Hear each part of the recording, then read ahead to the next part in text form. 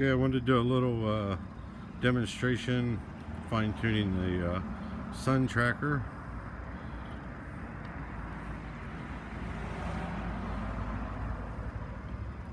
Uh, it should uh, move around and position and find the sun there.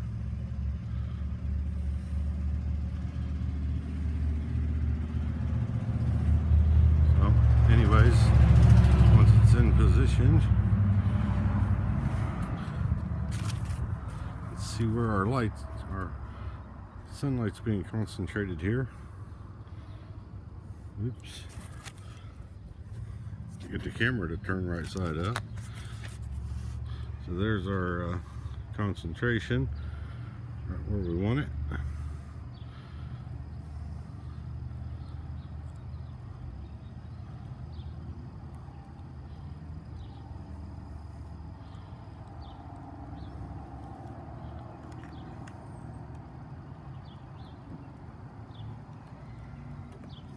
And you can see that gets pretty warm.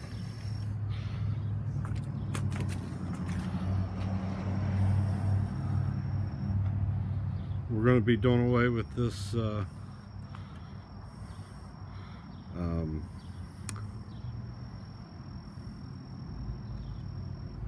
can't think of the name of them.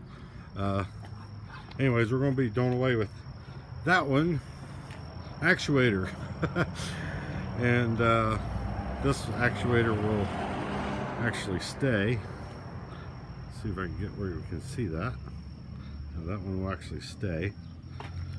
And then we're going to, uh, because we're going to get about 120 degrees of rotation out of this right now, we're going to take this off and replace it with a motor uh, and a chain that will give us well as much as we want up to the full 360 degrees. So, anyways, just a little update.